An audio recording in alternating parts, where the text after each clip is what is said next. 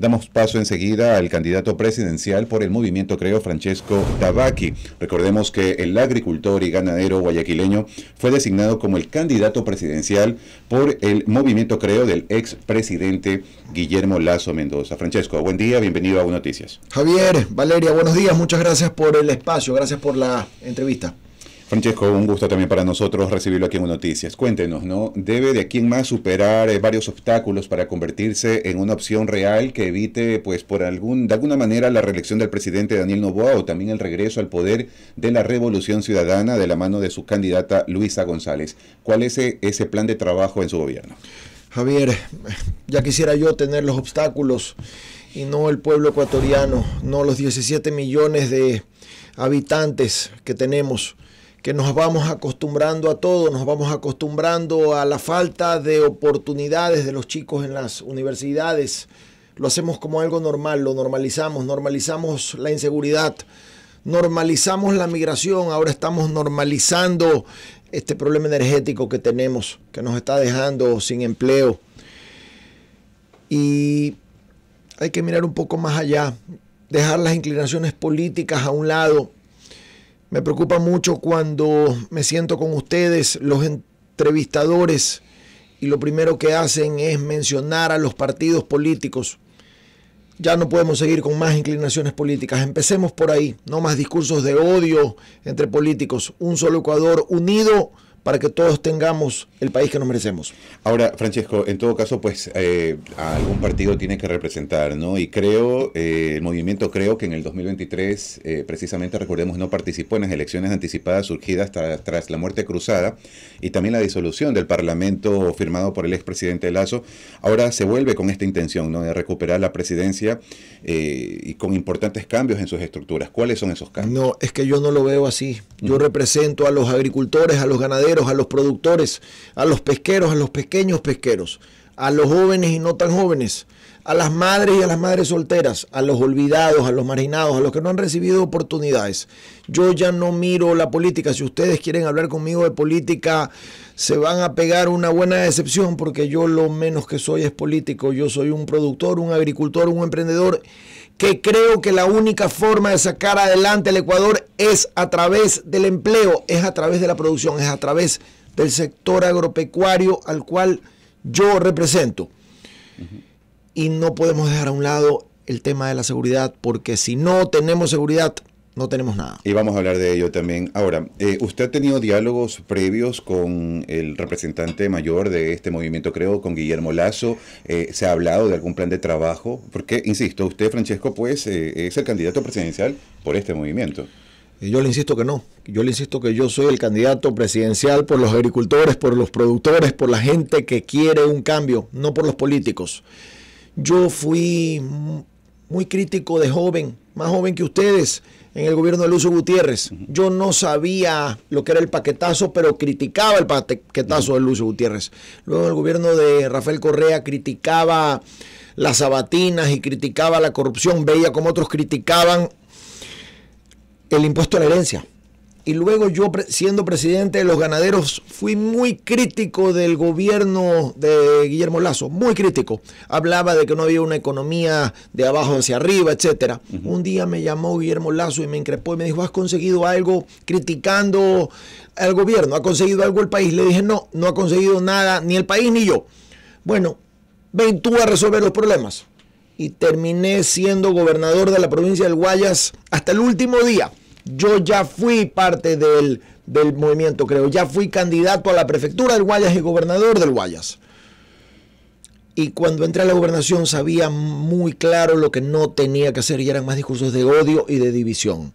Así que si usted me va a hablar de los partidos políticos y si yo los represento y cuál es su agenda, le tengo que contestar que no tengo la respuesta porque no la tengo. Yo estoy aquí para decir cómo le voy a solucionar los problemas a la gente. El empleo, la seguridad. Estoy aquí para hablarles de petróleo, energía, minas, medio ambiente, educación, salud y seguridad. Y lo vamos a hablar, eh, Con mucho gusto. lo ha dicho, soy el candidato de sombrero y botas. Ahora, una vez que llegue al gobierno, Francesco Tabaqui, también eh, sabemos ¿no? que el tema de alianzas, de pactos entre movimientos, entre partidos políticos también se da en la política. Me, voy a, me le voy a poner aburrido porque le voy a seguir diciendo que mi único pacto es con la gente, es con los gremios con los que producen. La mejor forma que puede manejar un gobierno el representante del Poder Ejecutivo, el presidente de la República, con respecto a los otros poderes del Estado, el, el, legislativo y el judicial, es manteniendo la distancia. Nada de pactos, nada de negociaciones. Ay, cuando la asamblea no quiera hacer la voluntad de la gente, la voluntad del pueblo, hay que exponerlos. Para eso están ustedes, para eso está el gremio de la comunicación, porque cuando a la, a la comunicación le quitan una letra, se acaba la democracia. Y espero que venga una asamblea, aspiro y espero que venga una asamblea madura, que esté lista a hacer los cambios y escuchar a la gente y ahora sí dedicarse a trabajar. Bien, Francesco, y ahora abordando un poco ya los, los problemas que enfrenta el Ecuador, ¿no? entre esos actualmente la crisis energética. El país atraviesa lamentablemente una crisis eléctrica y por supuesto hidrológica. La última sequía, el gobierno lo tacha como la peor sequía en los últimos 61 años. Y si bien la sequía lo agravó todo, la negligencia de anteriores gobiernos es una de las principales causas por falta de mantenimiento en algunas hidroeléctricas y termoeléctricas contempla en su plan de gobierno propuestas que permitan al país tal vez tener alternativas que no sea la hidrológica para generar energía. Sí, por supuesto. La hidrológica, la eólica, tenemos energía solar. El tema es que cuando los presidentes llegan y se sientan, muchas veces no solo en el campo energético, sino en la agricultura, en la minería, en el petróleo, no conocen. Yo no soy un sabelo todo, pero hay temas que yo sí conozco y hay temas que yo no conozco, que yo mismo los menciono. El país tiene cuatro formas de solucionar el problema que tiene. La una de manera inmediata es irse el mismo presidente, coger un vuelo, uno de sus aviones, uno de los aviones del Ecuador y viajar a Colombia a pedirle ayuda al presidente colombiano. Ayuda dejando todos los egos a un lado, llenándose de humildad, va en representación de 17 millones de habitantes. Si no, no hay cómo salir al problema del estiaje porque no hay cómo producir el déficit que tenemos. La única forma de ahorrárnoslos es a través de los apagones. La otra medida a corto plazo, voy a tratar de hacerlo lo más rápido posible, a corto plazo es más de 180 general, eh, centrales que hay entre pequeñas de 10 megavatios hasta 1000 megavatios, unificarlas. Decirle a la inversión extranjera o a la empresa privada, vengan señores, aquí están las centrales, tómelas, le damos la conexión, la transformación, le damos la, la concesión, obviamente. Usted va a invertir, pero en lugar de producir un megavatio, va a producir dos. Es decir, si la central que usted coge produce 10 megavatios, la va a hacer producir 20, cobrándole al Estado los precios justos. Francesco, ¿y eso no sería entregar la empresa, el sector eléctrico a la empresa privada o, al extranjero? Sí. no estoy hablando de una privatización, pero tampoco de una estatización. Estoy de acuerdo en que lo que no puede hacer el Estado, que son la mayoría de las cosas, tiene que entregárselo a quien sí pueda. Inversión extranjera, inversión local, empresa privada, para muestra una carretera Carretera concesionada en el Ecuador, carretera que está en buenas condiciones. Carretera que está en manos del Estado, prácticamente desaparece. Ahí están los pozos petroleros, los existentes, los legales. Nos están diciendo de que no tenemos petróleo. Sí, tenemos petróleo. Tenemos aquí abajo más de 100 mil millones de dólares en petróleo. ¿Por qué no los producimos? Porque el Estado no tiene plata para repotenciar sus pozos. Deje que entre la empresa privada, la inversión extranjera que ya está aquí, que quiere invertir. Póngale claras las reglas del juego, por supuesto. Dele incentivos tributarios. Y ya va a ver que la inversión llega. Igual en el sector minero eh, y, y en cada lugar a donde entre el Estado. Yo estoy totalmente abierto a que lo que no puede hacer el Estado lo haga o la empresa privada o la inversión extranjera. Eh, Francesco, y parte de esta crisis eh, hidrológica también han salido afectados, por supuesto, los agricultores. ¿no? El, en primicia, justamente, el Ministerio de Agricultura había reconocido hace un mes que 7.700 hectáreas se habían perdido parcial o totalmente por esta sequía. Su plan de gobierno, ¿cómo ayudar a estas personas en este tipo de ocasiones que realmente sobrepasa de, lo humano? Ya son más de 7.600, ya están llegando casi a las 10.000 hectáreas. Conozco el sector perfectamente. Y constantemente estamos pensando en cómo ayudar al sector agropecuario. Y yo me cojo la cabeza y digo, pero no estamos entendiendo que el sector agropecuario produce más de 3 millones de plazas de empleo de manera directa y bien puede producir 5 millones de plazas de empleo. No hay que ayudarlo, hay que ir a transformarlo. ¿Cómo? No en pensar en solo esas 10 mil hectáreas, pensar en otras 10 mil hectáreas más que no se están explotando y transformarlas. ¿Cómo? Invirtiendo. ¿Cuánto? Mil millones de dólares. ¿En qué? ¿Qué significa la transformación? Riego, mecanización, reconstrucción de las vías para todas las, para todas las tierras agrícolas de las dos regiones, costa y sierra por ahora. Y luego vamos con la región oriental. Eso es una transformación, eso es hacer que en lugar de que el sector genere 3 millones de plazas de empleo, genere 5, diciendo la verdad, por supuesto. No es en un día ni es en un año, pero se arranca el primer día a generar empleo. Respecto a la economía, Javi, hablando justamente de Tabaqui que mencionaba de los empleos, a ver, Francesco, eh, usted ha mencionado ¿no? en varias entrevistas a nivel nacional ¿no? que los políticos no se han desunido, que han sembrado el odio, que ahora en adelante pues se acaban esos discursos y también ha propuesto usted eh, regresar a la agricultura que el punto de partida para la transformación de nuestro país es a través de generar, generar empleo, educación, seguridad, por supuesto también atender a los servicios que requieren los ecuatorianos, pero cómo realmente va a trabajarse a partir de la agricultura, de la ganadería en nuestro país. Me gustó mucho esa parte en la que usted mencionaba que son siglos en los que este país eh, fue ganadero, fue agricultor, pero se dejó de lado eso. ¿Cómo realmente Ecuador va a retomar aquello y realmente ser una matriz productiva para este país. Javier, eh, no se lo ha dejado, sino que son, podemos ser una potencia y no lo hemos explotado. Hemos visto para otro lado. Hace 200 años en efecto era el cacao, pero fíjense que sigue siendo. Luego vino el banano y sigue siendo, el camarón y sigue siendo y luego han empezado a llegar otra serie de productos, ha llegado las flotas atuneras, pesqueras, la pitahaya, las rosas, por supuesto, las flores. Estuve en la Sierra Central, estoy bastante seguido en la Sierra Central, en la Tacunga, visitando a los brocoleros, el cultivo del brócoli.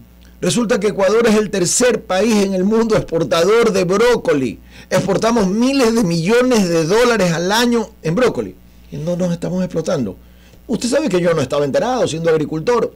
Ahora sí, y no solo eso, sino que me estoy inteligenciando. Ahí es que hay que ir a explotarlo. El Ecuador o todo país de nuestras regiones tiene dos formas de generar empleo importantísimas. La una, lo que está abajo de la tierra, que es el petróleo y la minería. Y lo otro, que está arriba de la tierra, que es la obra pública y por supuesto el sector agropecuario. Vamos a explotar ahí, vamos a trabajar ahí, pero pensando en una transformación, pensando en que somos buenos emprendedores, que somos buenos productores, todos en nuestras líneas, así somos los ecuatorianos, y que tenemos que ir a hacer algo distinto que lo que han hecho todos los presidentes de turno. Todos los presidentes de turno, que es ir a contraer deuda para pagar deuda. Nosotros tenemos que ir a contraer deuda para producir, como hacemos los emprendedores. Necesitamos ir a conseguir la plata, los recursos que están ahí, para comprar materia prima, para generar empleo, para mercadear nuestro producto, para venderlo. Y luego pagamos la deuda. Sí, la pagamos. Eso es lo que no están haciendo en este país. Entonces llegan y se sientan en la mesa y lo primero que dicen es, tenemos 35 mil millones de dólares, no hay petróleo, no hay minería, le debemos a los municipios, ahora tenemos el problema del estiaje, no hay inversión, los pozos petroleros no producen y empiezan a dar palos de ciego porque no saben lo que está pasando. Yo sí sé lo que está pasando. Ahora, eh, su propuesta concreta está en el sector agroproductivo, está claro, ¿no? Que ya ha mencionado que genera 3 millones de plazas de empleo de manera directa, también, por supuesto, de manera indirecta, muchos más, puede generar 5 millones de empleo que hacen falta en este país, eh, Francesco.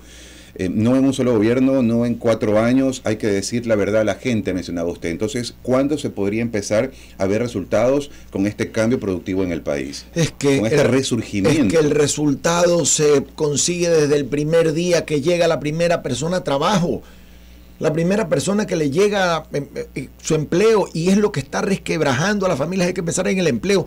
Yo le voy a dar un ejemplo claro y que lo hice el otro día, este ejercicio con los jóvenes. Yo tengo una amiga mía que es periodista, igual que ustedes, y su esposo trabaja, y han tenido una muy buena economía. De repente el esposo perdió el empleo.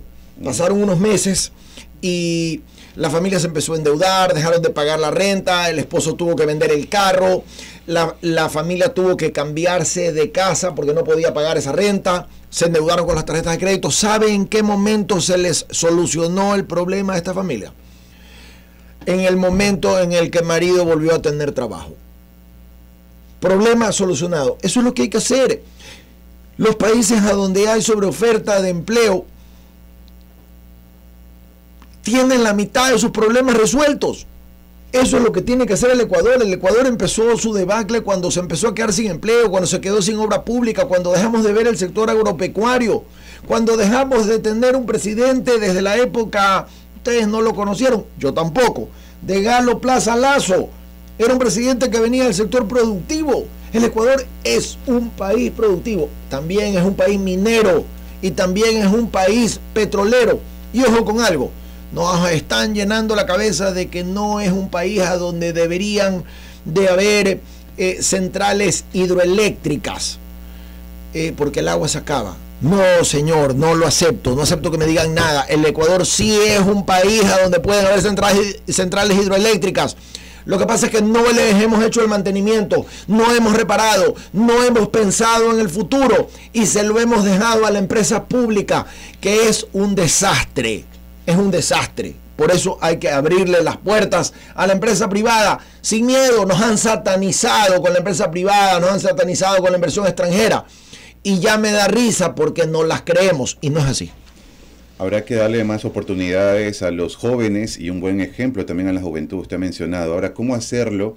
Y cómo recuperar, insisto, Francesco, ¿no? a la agricultura, a la ganadería, la zona rural está abandonada en gran parte de este país y la agricultura tiene que reactivarse, pero ¿cómo va a empezar en el gobierno de Francesco Tabacchi a poder realizar? Se lo mencioné, se lo mencioné, vamos, vamos a hacer una, lo que se llama una transformación.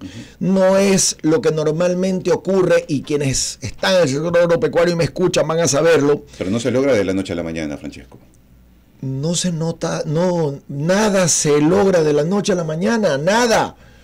Pero el problema es que pasan 10 años y que con esa idea de que nada se logra de la noche a la mañana lo dejamos de hacer. Yo no quiero ser presidente de la República y en cuatro años virarme y decirme, no invertí en el sector en el que tenía que invertir porque resulta que esto se demoraba 10 años o se demoraba cuatro años. Hay un, hay un refrán en la agricultura que decimos, eh, ¿sabes por qué los políticos no se toman fotos con los árboles? Y es porque los árboles se demoran 20 años en crecer, entonces no alcanzan a salir en la foto. Así no pensamos los agricultores. Los agricultores pensamos es, no en el hoy, pensamos en sembrar hoy para cosechar en un futuro. El había políticos que se tomaban fotos ¿no? con los árboles. Bueno, seguramente se quedaron unos 30 años en el gobierno, se quedaron de largo, ¿no? Pero, pero no los conozco. Francesco, y ahora, em, bueno, parte de que no sé a cuál se refiere, pero él abrazaba a los árboles. Y parte de que no hay empleo, por supuesto, un factor importante es la seguridad. Usted lo había mencionado, usted fue, eh, usted fue gobernador del Guayas, tiene conocimiento de la inseguridad que viven los ecuatorianos día a día al salir eh, al trabajo, estudiar, cómo usted planea combatir el crimen organizado y todas sus aristas. Con pena, eh, no, no necesariamente por haber sido gobernador del Guayas, sí, me dio la experiencia, pero creo que todos sabemos lo que es la inseguridad. Y la gente quiere mano firme, pero también quiere oportunidades. La gente quiere que demos bala, pero también quieren que lleguen los libros a las unidades educativas y las medicinas a los hospitales. Por eso viene nuestra estrategia con tres manos. Una mano firme, una mano justa y una mano inteligente. La mano firme consiste en la creación del Escuadrón de la Pacificación, compuesta por los mejores hombres, hombres y mujeres de las Fuerzas Armadas y la Policía Nacional, entrenados por fuerzas de guerra con poder bélico, por países con quienes mantenemos los tratados de cooperación, países extranjeros, por supuesto. Luego viene la cadena perpetua para los asesinos, violadores, para los vacunadores y para los jueces corruptos. A continuación, la mano justa, porque así como les digo, queremos tener una mano dura, hay que tener la mano justa que da las oportunidades. Y es, una, es un plan de desarme, un plan polémico para quienes nos entreguen las armas. Les vamos a dar becas integrales a sus hijos. Quienes quieren las oportunidades en el Ecuador las van a tener, quienes no van a ser llevados el resto de sus vidas a la cárcel. La tercera mano es la mano inteligente que consiste en darle a la Policía Nacional y a las Fuerzas Armadas la estructura, la infraestructura y la dignidad que se merecen. Ellos son finalmente quienes de quienes depende nuestra seguridad. Y voy por partes, Francesco, sobre lo que acaba de mencionar usted. Eh, señalaba cadena perpetua para eh, violadores, para asesinos. Sin embargo, hay hacinamiento en las cárceles, muchísimos presos eh, sin derechos humanos realmente. Entonces, ¿cómo se planea la cadena perpetua sabiendo que hay hacinamiento en las cárceles y limitadas cárceles? Mire, sí habrá que construir más cárceles, pero nuevamente, la gente no solo quiere mano dura, quiere oportunidades. Hay que construir más cárceles, pero hay que construir más escuelas, más unidades educativas. Hay que darle oportunidad a la gente. Nadie nace con vocación de delincuente. Nadie. No estoy pensando en los 50 mil delincuentes que están en la cárcel, eh, están fuera de las cárceles, ni en los 30 mil delincuentes que están dentro de las cárceles. Estoy pensando en los hijos de esos 50 mil que están libres. Tengo que evitar que en pocos años, en lugar de tener 50 mil delincuentes sueltos, tengamos 100 mil y ahí sí no haya tanta cárcel para tanta gente. En cuanto a los derechos humanos que me menciona, el presidente de la República no puede pensar en su futuro, tiene que pensar en el presente del país. Y aquí tienen a ese presidente que no está pensando en qué me va a pasar a mí con los derechos humanos, sino que estoy pensando en nuestra gente, en lo que está ocurriendo hoy en día. Estoy pensando en los derechos humanos de los estudiantes que tienen que truncar sus carreras. Estoy pensando en los derechos humanos de los jóvenes que se tienen que ir, de las madres que ven a sus hijos morir. Estoy pensando en todos los pequeños emprendedores que están perdiendo sus empleos por parte de los vacunadores. No tengo tiempo para pensar en los derechos humanos. De los reos. De los reos específicamente. Y respecto a qué piensa de las bases militares extranjeras, el presidente Novoa... Estoy de acuerdo. Presentó... Estoy de acuerdo. Si suma, estoy de acuerdo con la decisión del presidente Novoa. No sé si vaya a funcionar como funcionaba antes, los tiempos cambian y a veces hay otras alternativas pero por ahora estoy de acuerdo. Todo lo que le sume a este país estoy de acuerdo. También estoy de acuerdo con el decreto del presidente Novoa que mandó a la Asamblea para que puedan la inversión extranjera o la empresa privada trabajar en el sector energético. Se lo debió haber hecho hace mucho tiempo atrás. Eso nos va a dar una solución a mediano plazo. Y respecto a lo judicial, nos recordemos que si bien el policía o las Fuerzas Armadas, los militares, eh, capturan a delincuentes, bandas criminales, bandas terroristas. Sin embargo, los jueces o, Lo tengo clarísimo, Valeria. Yo fui gobernador casi un año, llevamos a la cárcel junto con la policía 12 mil delincuentes. En menos de un año más de la mitad fueron liberados por esos jueces corruptos. Por eso los tengo en mi lista negra, por eso los voy a meter a la cárcel de por vida, en la misma celda que los violadores y que los asesinos en la misma celda porque son tan culpables como ellos. ¿Y ellos también entrarían dentro del grupo que usted menciona que habría cadena perpetua? Por supuesto que sí. Por supuesto que sí. Y ojo con algo, van a ser reemplazados por otros jueces. Quizás no con tantos años de experiencia, pero sí con buena experiencia. Y vamos a hacer que todos estos juicios a todos estos delincuentes, asesinos, violadores, vacunadores y jueces corruptos sea de manera inmediata. Nada que en seis meses vienes, nada. Se los cogen el delito y en una semana estás en la cárcel sentenciado de por vida. Javi. Luego de la pandemia del COVID-19, Francesco, pues vino también la pandemia de la inseguridad, de la delincuencia, del derramamiento de sangre en nuestro país, un día sí y otro también. Y esto pues también ha afectado a la educación en Ecuador. ¿Cómo se va a potenciar las capacidades de la ciudadanía, de los estudiantes? ¿Cómo se va a promover la educación innovadora que tanto hace falta, inclusiva, incluso y de calidad en todos los niveles en Ecuador? Tres pandemias la del COVID, la de la inseguridad y ahora la energética. Yo recuerdo que hace unos años atrás yo era presidente de los ganaderos y en el COVID, pensando en los productores ganaderos que dejaban de vender su leche y había que botarla, yo dije voy a incentivar al consumo de la leche aquí en la provincia del Guayas. Y empecé a recorrer. No estaba metido en política para nada, lo único que quería era que mis productores o los productores de la sierra colocaran su producto y que los chicos eh, se pudieran nutrir del mejor alimento del mundo, que es la leche. Y empecé a recorrer los barrios populares y marginales de Guayaquil haciendo brigadas, entregando la leche. Y me di cuenta de eso, me di cuenta de que estaban encerradas en sus casas, muriéndose de calor las familias. Papá, mamá, tres, cuatro, cinco y hasta seis hijos, con una educación a la distancia pésima, recibiendo en una porquería de celular, en un celular destartalado de la madre, vía SMS los mensajes. Primero me di cuenta de que no estaba ayudando a los lecheros, estaba ayudando a las familias que se estaban muriendo de hambre. Y segundo, me di cuenta de que íbamos a tener un problema con estos jóvenes que no estaban estudiando, con estos chicos de 13, 14 años. Jamás me imaginé que iban a ser los que iban a terminar en las pandillas, en los EDOs, en las bandas, en el club de gatilleros. Eso pasó con los jóvenes durante la pandemia. Y eso nos puede pasar ahora si no se corrige el problema energético. Si dejamos que las escuelas, colegios, unidades educativas empiecen a colapsar y que los chicos se queden en sus casas metidos. Eso es lo que tenemos que impedir.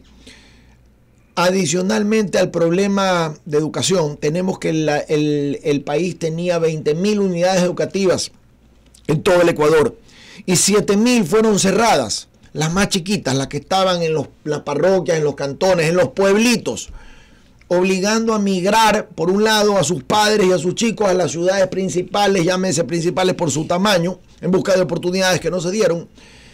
Y otra parte hubo la deserción escolar, un 25% de deserción escolar. Que continúa, Francesco. Que continúa y seguimos sin las unidades educativas. Hay que irlas a entrar y abrir de una desde el primer día. Ahora, el presidente del gobierno actual también lo puede hacer no tenemos que esperar a que venga el nuevo presidente. Yo no estoy aquí para competir con, el presidente ni con los otros candidatos, simplemente para dar ideas que yo también las voy a asumir por si acaso. Yo los escucho cada vez que puedo a todos los candidatos para recoger lo bueno que puedan dar. Esto se trata de un solo Ecuador, de un Ecuador unido, un Ecuador que todos empujemos el carro, unos con más fuerza, otros con menos fuerza, pero en la misma dirección.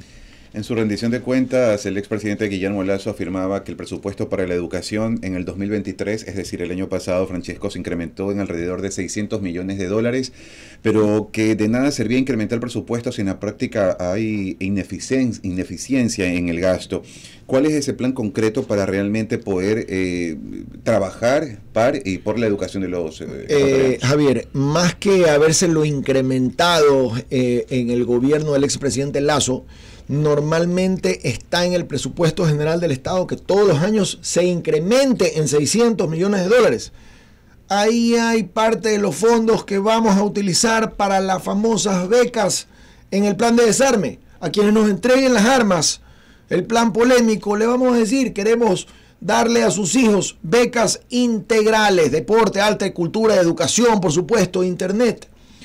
Y es polémico porque muchos me van a decir, ¿y a cuenta de qué? Bueno, a cuenta de que aquí en el Ecuador quienes hagan las cosas bien van a poder tener un futuro. Y esto no exime a quienes hagan las cosas bien de también recibir eh, las becas. Tenemos que becar a nuestros chicos, especialmente a los que más lo necesitan. Hay que trabajar en la educación, por supuesto. Y créanme finalmente que la mejor forma de eliminar la delincuencia es antes de que nazca y es a través de la educación. Prevención, reinserción y por supuesto también oportunidades para, para los jóvenes. Eh, Francesco, hablando, y no le gusta hablar mucho de política, usted no se considera político, pero en un gobierno... Imagínese usted, soy candidato a la presidencia, tengo que por en un obligado a ser político. En un gobierno definitivamente también eh, se debe hablar y analizar la política exterior. ¿Cómo va a ser esa relación con Estados Unidos? Luego pues también estos países emergentes como China, como Rusia. Eh, ¿Cuál va a ser pues esa relación de Francesco Tabaqui desde el gobierno? La misma, una buena relación Excelente. Traerme lo bueno que se ha hecho en todos los gobiernos anteriores. En el gobierno de Guillermo Lazo, en el gobierno actual, en el gobierno de Lenin Moreno, en el gobierno de Rafael Correa. todo lo bueno hay que traerlo. Y lo malo, lo único, la única forma de corregirlo es trayendo lo bueno y haciendo las cosas bien. Así que las buenas relaciones, por supuesto que sí, bienvenidas. Los TLC, por supuesto que sí. Todo lo que genera empleo, bienvenido. ¿Y qué es lo malo eh, de la relación con Estados Unidos, Francesco, a día de hoy en este país? Mire, ni siquiera me he puesto a analizarlo, no tengo la respuesta. Eh, si usted me, pide también que no me vaya a Estados Unidos, sino que me vaya a analizar lo malo de los expresidentes, le voy a decir que tampoco lo quiero hacer, que estoy solo para sumar y para ver lo propositivo, lo bueno, lo positivo, lo que nos puede dar una ventaja, lo otro que se queda atrás nomás.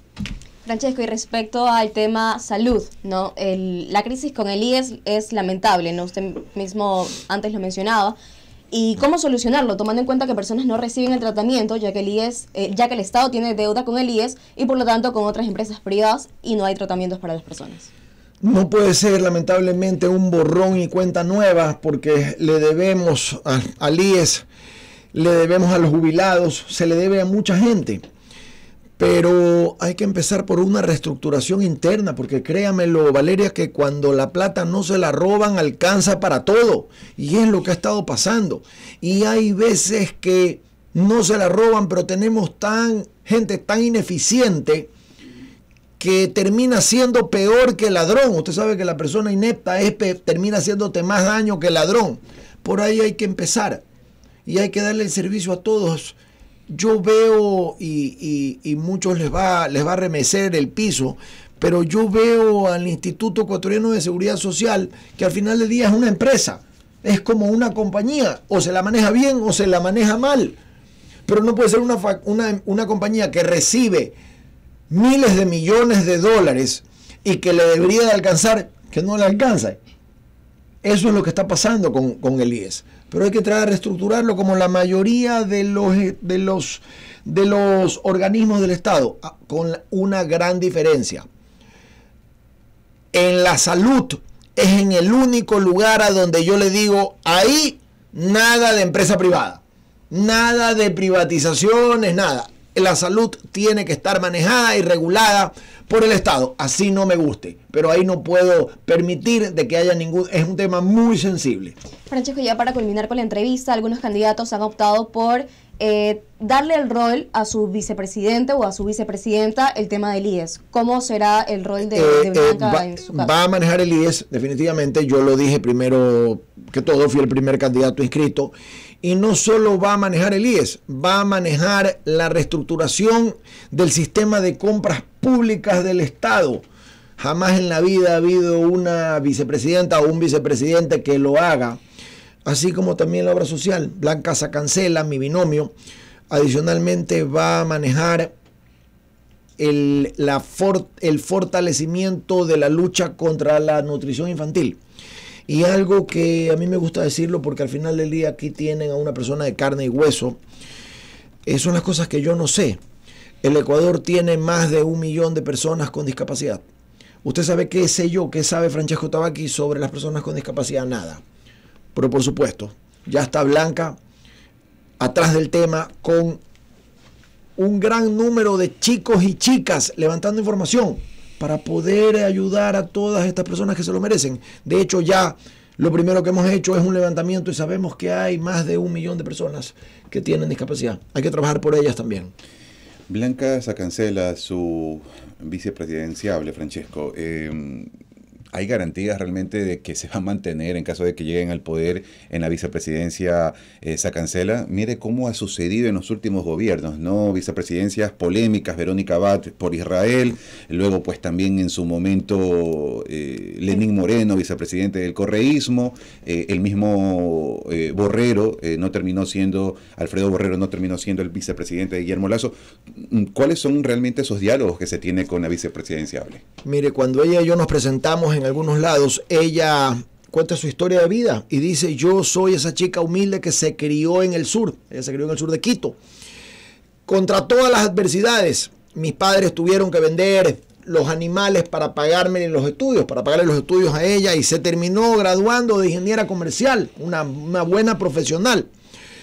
Yo me presento al lado de ella y yo digo, Yo soy el chico que se crió en el norte, con otros problemas, no con esas adversidades.